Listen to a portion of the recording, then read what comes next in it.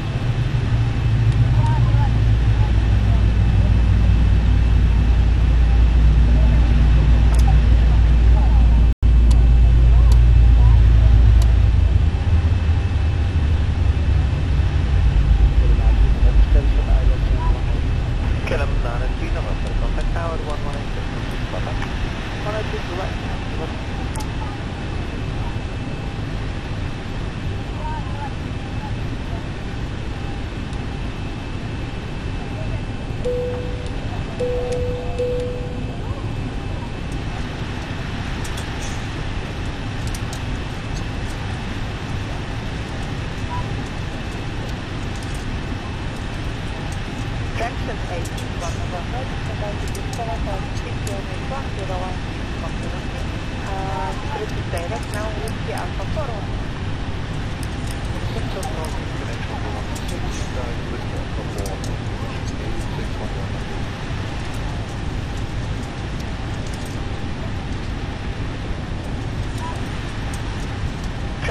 to the channel.